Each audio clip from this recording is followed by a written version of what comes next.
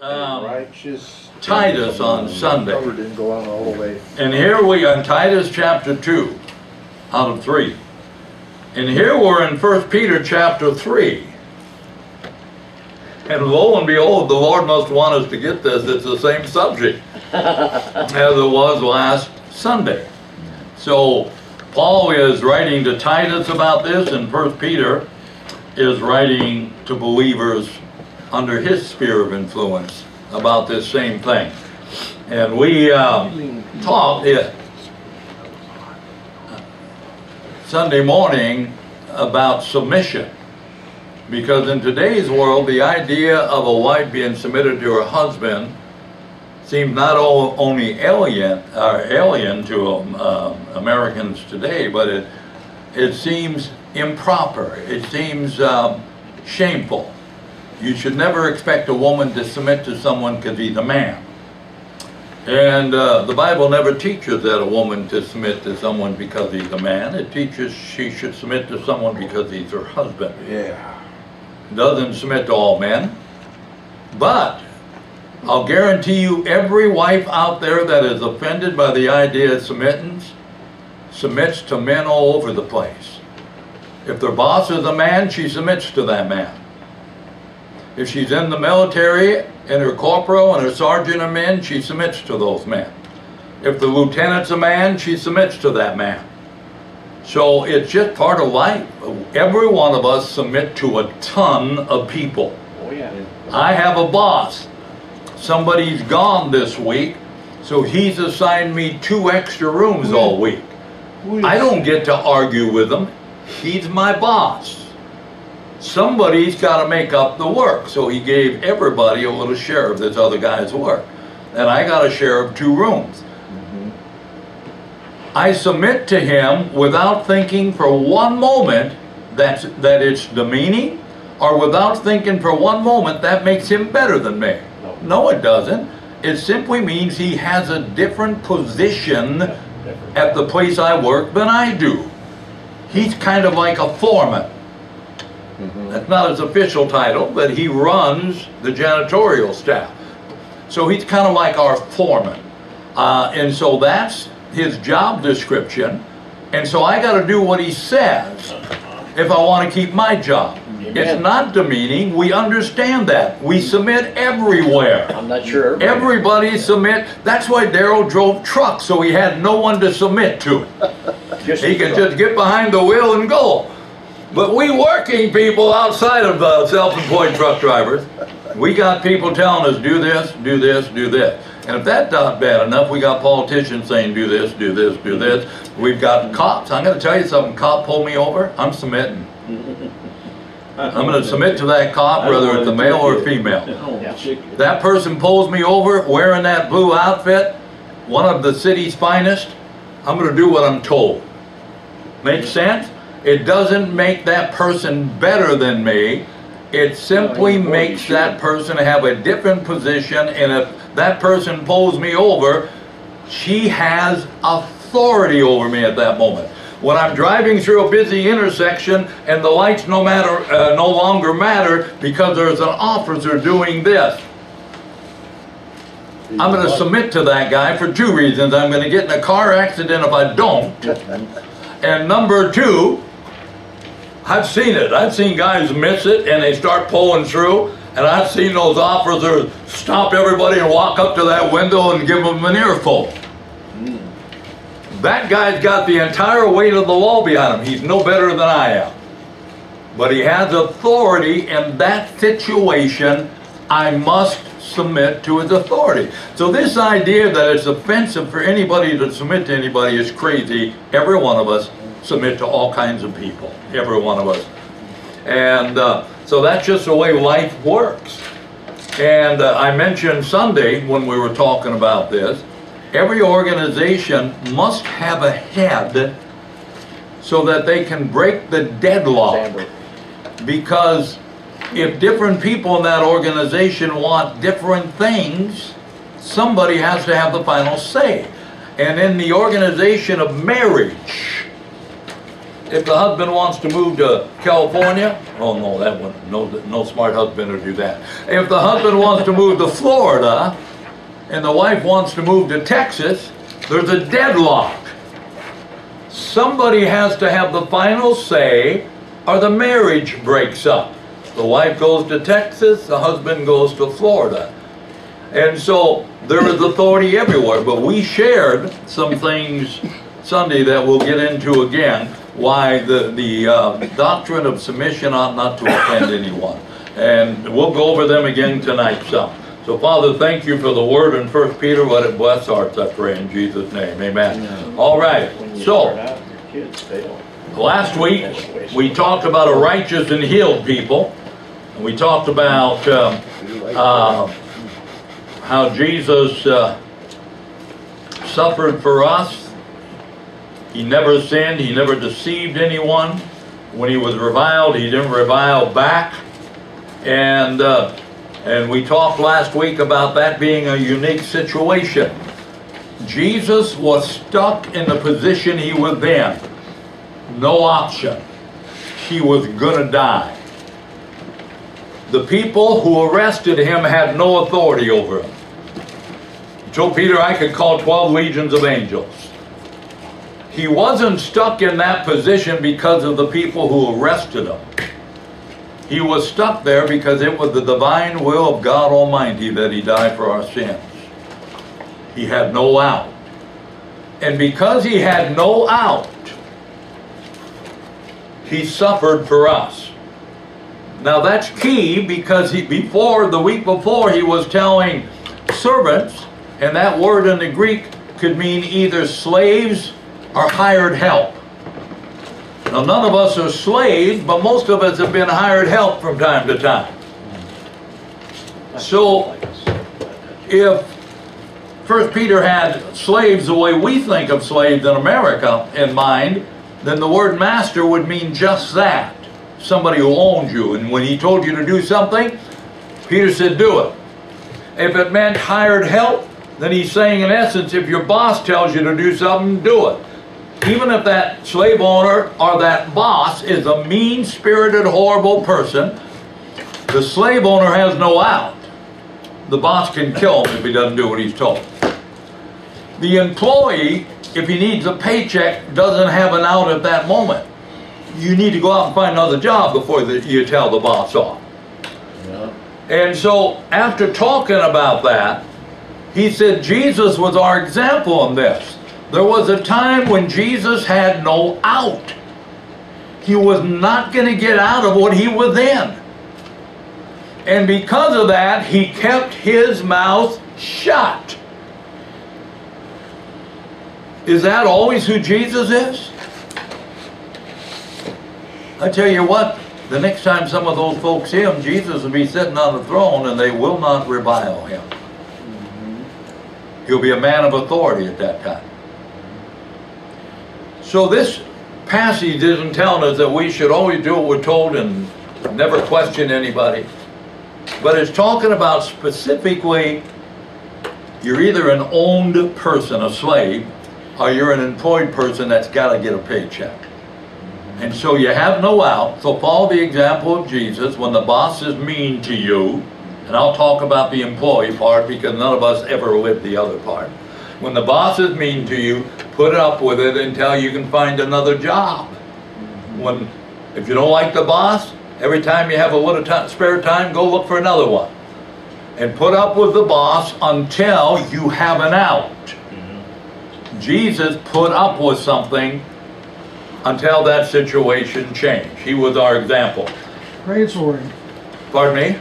I said, pray for him. Yes. Yeah, dude. And pray we have them. Sometimes the bosses need a lot of prayers. And then he went on with verse 24 uh, last week to talk about how uh, we being dead to sin should live on to righteousness because Jesus bore our own sins in his body and by whose stripes we're healed. And so we concluded last week um, by talking about the fact that I believe, not every preacher, most preachers would disagree with me. I'm going to be upfront with you. Uh, I believe that the death on the cross and the suffering leading up to it in Pilate's judgment hall that redemption included both physical and spiritual things. And so I believe Jesus died to save me from my sins, the spiritual side, and to heal me from my sicknesses, the, the physical. Mm-hmm. And people say, if that's the case, why does anybody get sick? And my question is, well, it said he saved me so I could live righteously. If that's the truth, then it must be because it's written in the Word of God. How come I don't live perfectly? So to say that he doesn't want to heal me because I'm sick sometimes is to say that he doesn't want me to live righteously because I sin sometimes. Doesn't make sense. So how are they connected? I will live righteously and healthy to the direct proportion I believe what Jesus said about me. This is a walk of faith. And none of us will be perfect in our faith in this life.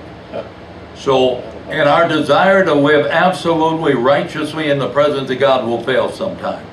In our desire to take advantage of the fact that He bore our sicknesses, our faith will waver and we'll have a sickness take hold of us. But it doesn't change the promise in either case. So we talked about that. Now this week, we move on from chapter 2 to chapter 3, and I'm sticking to a something people for, I don't know, about the 10th week in a row. This time we're going to talk about a beautiful people. Look up here, folks, we're talking about a beautiful people. All right. So, uh, not, not what we're talking about today. Uh, he would desire you and I be beautiful, but he's going to talk about the wives. Likewise, so after talking about servants, which could either be slaves or hired people, okay? After talking about that, the last chapter, he now goes to another area of subjection. And he says, likewise, you wives, be in subjection to your own husbands. Not every guy out there. To your own husbands Right. That if any obey not the word, if any of your if eh, if any of you women, if you have a husband that doesn't obey the scripture, he's not a Christian. If any, the reason he's wanting you to be subject to him because if he's not saved, if he's not obeying the word, they also may without the word be won by the conversation or the lifestyle of the woman. So he's saying if you're a Christian woman married to a sinner man, you preaching to him not going to get it done. Your best opportunity is to be is to be an example of a Christian wife. And this uh, unsaved man might take advantage of that. There's a risk factor. But if your ultimate goal is to see that man saved, then this is a key element to that. Exemplify the Christian conduct of a Christian wife. And he'll see, even on his ornery days, this woman being submissive, not beaten down, not doing this stuff, just trying to cooperate with her husband if he tells her to do something that's not illegal. She mm. tries to do it. She's walking out a testimony. So this is a different reason here than what we've been talking about, dealing with a woman married to an unsaved person. My question would always be, why'd you marry an unsaved person? Jesus said, what fellowship has light with darkness? Right. If you were a Christian, you should have found a Christian husband. Um, but sometimes the woman gets saved after they're married. Neither one was uh, saved at the time of the marriage, and she's saved and all in, and she's in church, and he won't go, and he's ornery. Peter said, This will help be a testimony to your husband. Be submissive to your husband. So this is more than being More- submissive because the scripture teaches that. He's giving a different reason right here. This is to give God an avenue to speak to your husband through the testimony of your life. That's what he's talking about here. All right? Now, so it said, excuse me just a second, I'm thinking I'm wanting to sneeze. Bless Thank you, you. Father, for divine health. All right, now, so it said, let me read verse 1 again and add verse 2 because it's the completion of the sentence. Wives be in subjection to your own husbands, that if any obey not the word, any of the husband, the, husband you might have, they also may without the word be won by the conversation. That doesn't mean you're talking, that means the way you live. the conversation of the wives, verse 2, while they behold your chaste conversation, again, that's talking, the Greek word rendered con- uh, conversation in the Greek is not talking about talking, it's talking about how you live, okay? Lifestyle. Well, they behold your chaste lifestyle coupled with fear. All right, now let's put this over. Uh, the New American Standard puts that last verse as they observe your chaste and respectful behavior. So, what can happen when we yieldingly do what the scriptures teach us? Christian wives can see their non Christian husbands come to know Jesus. And I'm going to tell you something. If you know any Christian wives that, whose husbands aren't saved, show them this area and say, I'm not preaching at you. I'm telling you, do this and stand on it. Consider it a promise from God. Act the way God wants you to act as a testimony to your unsaved husband and say, God, you said this. I am putting my faith right there. But instead, if you bicker with them all the time, you're on your own. You're going to have to find another way to win them. yeah. I'd rather get God cooperating with me. How about you? All right. Now, he goes on to talk about women being married, and he said, whose adorning, let it not be that outward adorning of plaiting the hair, of wearing of gold, or putting on of apparel. The translation called God's Word renders that verse this way Wives must not let their beauty be something external. Beauty doesn't come from hairstyles, gold jewelry, or clothes. Verse 4 But let it be the hidden man of the heart. Now, what's this all about? I'll tell you what this is all about. This is the Holy Spirit talking. He's inspiring Peter to write this. The Holy Spirit doesn't care how beautiful someone is. The Holy Spirit doesn't like the drop dead gorgeous woman better than the uh, homely woman. And can I tell you a mystery? Many of those homely wo- women in the eyes of God are far more beautiful than the ones the guys are whistling at. Yeah, 'cause they're- God has a different idea about beauty than we do. Amen. So we think I'm going to fix myself up just right. My husband better treat me right because all those guys are going to whistle at me. They're ugly I inside. bet I God- hate it. We go out to eat anywhere and guys whistle at my wife. I get so tired. I bet God thinks art's beautiful. yeah. But the point is, what Peter's telling us, you need to understand this. And me. And genuine beauty is external. The thing that God considers beautiful. How many of you think God's viewpoint's the most important one of all? Mhm. God's viewpoint on beautiful With and our viewpoint, viewpoint on beautiful are two different things. God, or my viewpoint on beautiful, when we look at people, the beautiful people out there there, is skin deep. Hmm. Some of them are some of the meanest, uh, self-centered people on the planet. Not all of them. They're good-looking people who are really nice. Mhm. But many of them think they're all that. Everything's been easy for them because jobs like to hire the pretty women and the handsome guys. And I tell you today, you can't even read the news on a news web network unless you're a good-looking guy or a pretty woman. Mm, Uh, Yeah. Doesn't matter how talented you are.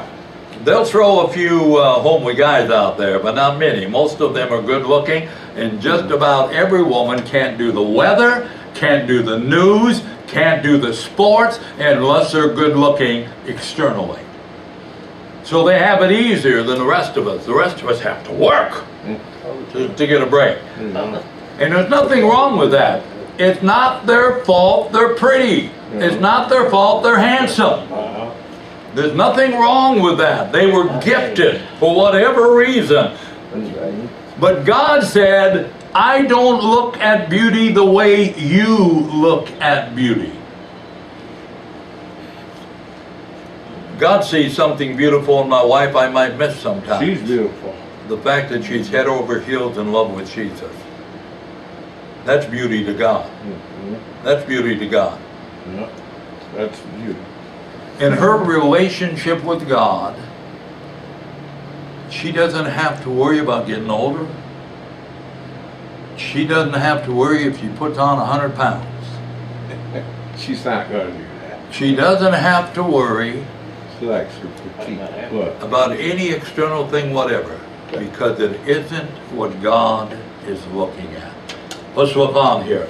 So let me reread verse 3 and then go to verse 4. Who's adorning this Christian wife? Who's adorning? Let it not be a, the, that outward adorning of plaiting the hair or wearing of gold or putting on of apparel. Now listen, God is not saying you shouldn't plait your hair or wear gold jewelry. Because that same verse says, or putting on of apparel. I think God wants women to put clothes on before they go out. Yeah. So if I'm going to read that verse and say God doesn't want you to plait the hair, then He doesn't want you to wear, wear apparel. Now, that's just stupid. That's not what Peter is getting at. He's saying, don't let this be the main thing you consider important.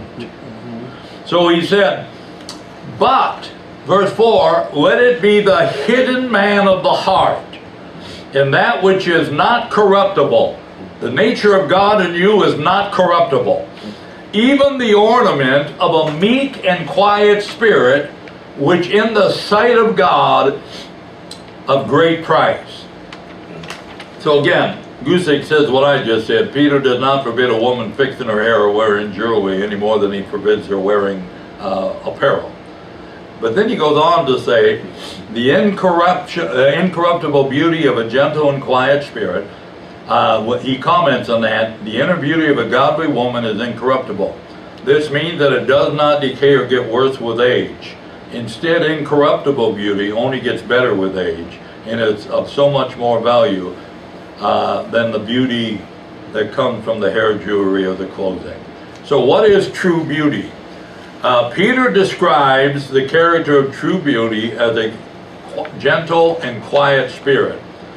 These character traits are not promised for women by our culture, but they are very are not promoted for women by our culture, but they are very precious in the sight of God. Now, if you want to be beautiful to God, develop a gentle and quiet spirit. Now listen to what Jesus said in Matthew 11, 28 to 30. Come on to me. This is Jesus talking to you. Come on to me, all you that labor and are heavy laden, and I will give you rest. Take my yoke upon you and learn of me. Listen to what he said. For I am meek and lowly in heart. What's the woman to be? Meek and a quiet spirit. Jesus said, I am meek and lowly in heart, and you shall find rest unto your souls, for my yoke is easy and my burden is light. It's amazing to me. Jesus said, Come here, I want to teach you something. You're tired, life is beating you up. Come here, I want to teach you something.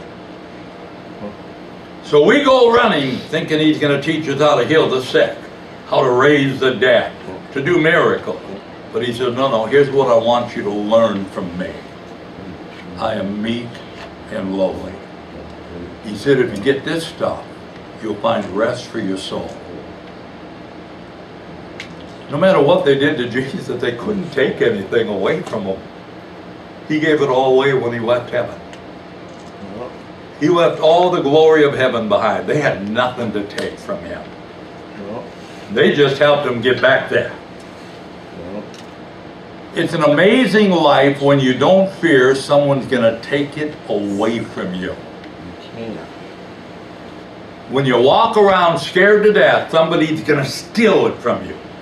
Again, you know, you've heard me talk about the ridiculous thing that there are people in church that'll go home if some visitor comes and sits in their seat. Like they can't listen to the sermon or sing a hymn a row back or a row forward. It's the most ridiculous thing in the world. So when it said that Jesus was equal to God in Philippians chapter 2, in the Greek it's actually saying he didn't think equality with God was something to be grasped or held on to. The reason Jesus came and saved us, even though he had equality with the Father, by the way, he was subject to the Father, but equal to the Father.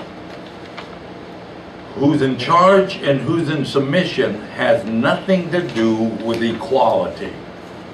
People say women are equal. Yes, they are in every way, shape, and form. Absolutely. Got nothing to do with the subject. Nothing. Jesus is subject to God, the Father, but equal to. And so, to come and save us, he had to leave some of that equality behind. So he thought that equality of God with God wasn't something for him to hold on to, like people want to hold on to their pew. It's the dumbest thing I have ever heard about in my life. It's a chair. Right. Somebody comes to your house and visits you and sits down in your favorite chair. So what? Yeah. Jesus didn't cling to heaven for you, and you're going to cling to a chair? Turn around and tell somebody, you might have a point. All right? So, Jesus said, Here's what I want you to learn. This is what makes life easier. This is what gives you a restful spirit meekness and lowness. Don't fight for everything. He's not telling you you can't be ambitious, want a better job. But he's saying don't make that the secret to your happiness. And if somebody comes at work and gets behind your back and steals your promotion, Jesus said, oh wow. Yeah. Don't let that define your happiness. If you want rest for your soul, it isn't about me teaching you how to do miracles. It's about you learning from my example meekness and lowliness. Now, I put that there because Peter writes to his readers that what a woman ought to adorn herself with, listen to it again, a meek and quiet spirit. Isn't it amazing what God finds precious in a woman, not just a woman, but he's talking to the women here, but it's not just what he finds precious in a woman. What he finds, but for the subject right now, what he finds special in a woman is a meek and quiet spirit. What did Jesus say? I want you to learn from me. I am meek and lowly in heart. Isn't that amazing? Mm-hmm. Jesus said, I'm meek. Said, women be meek. Jesus said, I'm lowly in heart. Women have a quiet spirit. Yeah, they do. He's in essence telling, Peter's in essence writing to the woman. And in retrospect, he's writing to all of us because Jesus is an example to us all. This is what makes you beautiful. This is what makes you beautiful to God. Might not make you beautiful to your neighbor. There'll be days it does. They'll say, what a nice person. But there might be other days, you know, some people can't be satisfied. You might get around a nasty neighbor, doesn't, neighbor, it doesn't matter how nice you are or anything. They might not like you for anything. But you know what? When we do it His way, God's always going to like us. God finds us something of great price. So when I ti- entitled the lesson, A Beautiful People, this is speaking the lesson, especially to women, because he's addressing the woman's submission right now to win her unsaved husband. But the truth is, that's why I brought uh, Matthew in to show you it applies to all of us. Jesus said to men and women, come here, learn this. This will keep you calm in the storm. This will keep you. Why was Jesus sleeping when the boat was about to go down and all of his disciples were fearing for their lives? Because he had peace in his soul. Rest in his soul. Why? He was meek and mild. The world couldn't take anything from him. Couldn't take a thing from him because he wasn't possessive of anything the world gives you. He left everything heaven gave him for crying out loud. What's the world going to give him? And because he left all that behind, they had nothing to take from him. Yeah. All the precious stuff he willingly walked away from in heaven. It blows my mind when I think I think it out in detail. He left the throne of heaven, Well, For us. Almighty God, Jesus the Son, who fills the universe, left the splendor of heaven and entered the womb of a woman Did it all for as a small cell as it grew for nine months. Process that. He didn't step out of heaven, come down here at 30 years old. He went through the whole process like you did. Except when you showed up, conceived in the womb, you didn't know what was going on. He willingly stepped away from that throne and entered this world the way you entered it. Wow, isn't that something? Did it all for us. Can you imagine what an honor that would have been to, to be chosen to be the mother of the Savior of the world? Well, and I'm sure she didn't understand all, well, yes, she did, because the angel told her all that.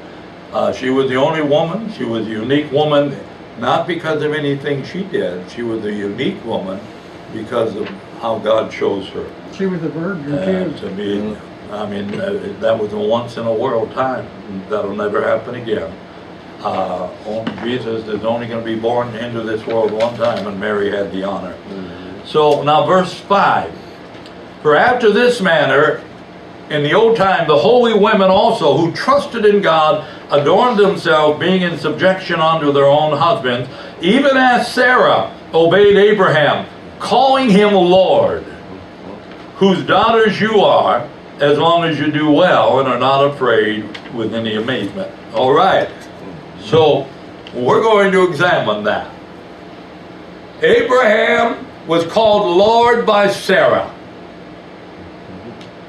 Not really. He said it right there. Yeah, let's read the whole story. Sarah never actually called, to our knowledge, Abraham Lord. You know where that came from in the Old Testament that Peter's alluding to? The two, the three angels come to visit with Abraham. Two of them go on down to Sodom. One stays behind. And that one that stays behind, some believe it's the pre-incarnate Christ. I, I think it's just an angel. But nonetheless, whoever it was, the words coming out of its mouth were God's words. Because angels are messengers of God. When they speak to you, they're speaking God's word. So it doesn't matter if it was God or the angel. It's the word of God. And this angel stays behind and tells Abraham that after 24 years of waiting for the promised child, he's 99, she's 89. I've never necessarily seen an 89 year old woman who was drop dead gorgeous. Having said that, in 20 years I'll have to change that. but my point is, May not be able to even see that. this angel said, this time next year, that promised child is going to be born.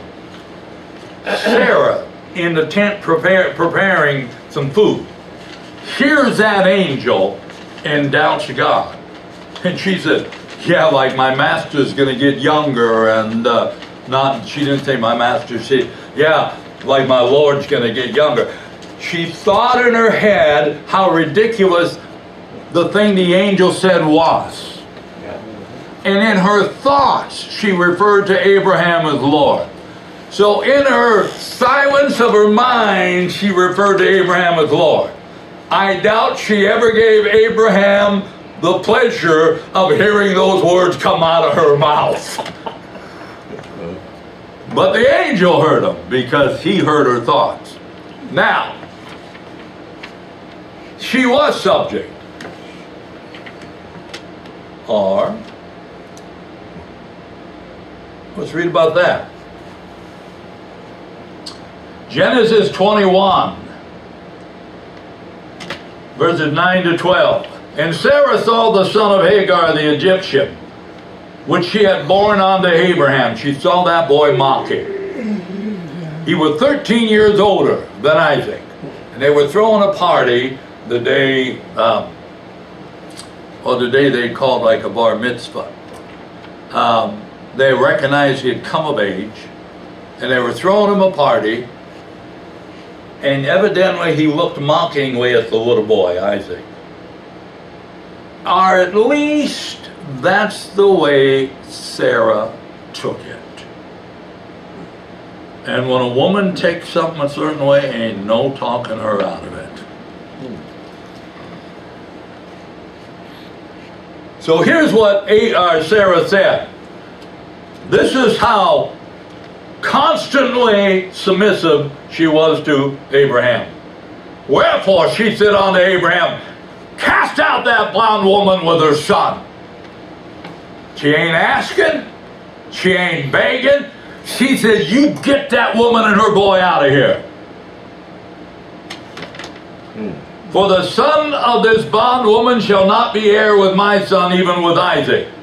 So, of course, the next verse said, Abraham put her in his, her place. I'm the head of the house.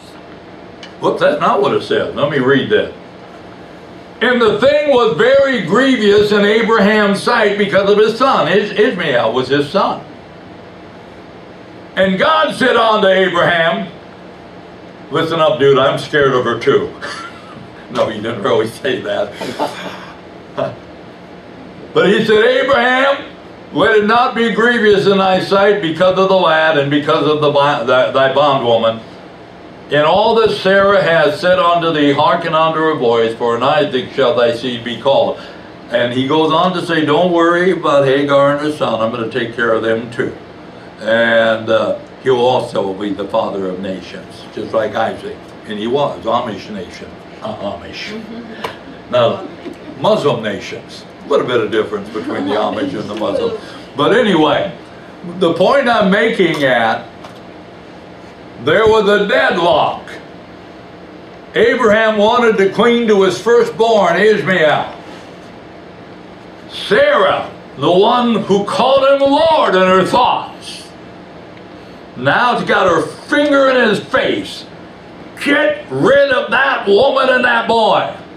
You know who got Abraham to marry that woman? Sarah. Yeah. She was Sarah's maiden, handmaiden. Sarah decided God promised uh, Abraham a child and I can't do it, I'm barren. So she said, marry my handmaiden and have a child by her. So Abraham, the decisive man of the house, keeps doing what he's told. I tell you what, what's the old saying? The man might be the head of the house, but the woman's the neck that turns the head or something. Uh, I don't know. Um, I'm not making light of the idea of women being subject here. What I'm saying is there's no place in reality where it happens 100% of the time. And then sometimes when they're being stubborn, if you'd listen to God like Abraham did, God said, that's do what she says. And I don't think it's because God's afraid of her. I think because Sarah in her anger was on to something. A deadlock came where Sarah wanted one thing and Abraham wanted the other. But even though Sarah was out of sorts, in her anger, she wanted what God wanted for that family to begin to center around Isaac. My point is this this idea of uh, what Peter's throwing out there, she was subject to Abraham and called him Lord, uh, is a wonderful thought. And most of the time, I'm sure she did exactly what Abraham told her to do. But the truth is, we're a team. You're married, you're a team. And sometimes the woman comes up with the better idea, Oh, yeah. and you ought to listen, right? Once in a while, the guy comes up with the better idea. Go figure. But often, it's the other way around. So even though it's talking about what we talked about Sunday morning, he's hitting it from a different direction, so we didn't get all into everything, and I don't have time that we covered Sunday morning.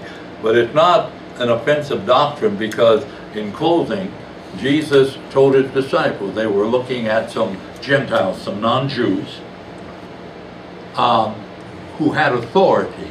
And Jesus pointed at uh, whoever this individual was with authority. He said, you know, in the world of the Gentiles, those who have authority lord it over those beneath them. They push him around with their authority. But he said, it will not work that way in my kingdom. Amen. In my kingdom, if you want to be great, you got to be the least. If you want to be great, you have to serve. And then Jesus went on to say, use himself as an example, indicating that they already knew who he was. He's the Son of Almighty God. And yet, Jesus said, I come not to be served, but to serve. So the one who is subject only to the Father has authority over every other living thing in heaven or earth or under the earth. Have power over everything but, but God the Father. And he came here and said, I'm here to serve you. A good husband has authority over the wife to break a deadlock. But what does authority look like in the kingdom of God? You don't sit on the couch and say, honey, go get me something from the refrigerator. You get your can up yourself, you go in the refrigerator and get something. And while you're in the kitchen, this is what I titled Sunday's message. While you're in the kitchen, you say, honey, can I get you anything? You say, well, that doesn't sound like authority. That's godly authority. That is godly authority, and it should be inoffensive to anyone. Authority is there when deadlocks need to be broken. Other than that, you're a team.